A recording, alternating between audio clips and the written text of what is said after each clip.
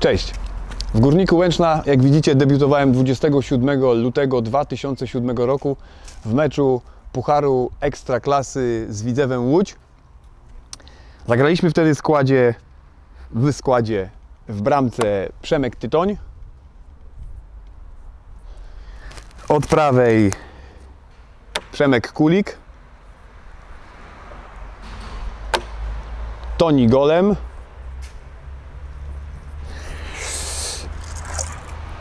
Ja.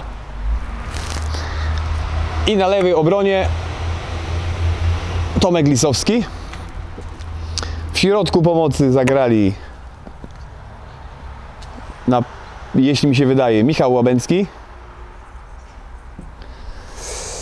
Yy, na dziesiątce zagrał yy, Łukasz Masłowski. Na skrzydełku zagrał Borcze Manewski. W ataku Aleksander Bajewski. Już wiem.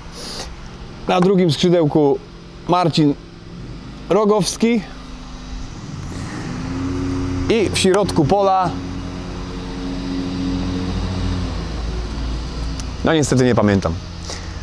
Wygraliśmy wtedy ten mecz 3 do 0. Bardzo miło to wspominam. Był to mój debiut przed tak wspaniałą publicznością. Pozdrawiam.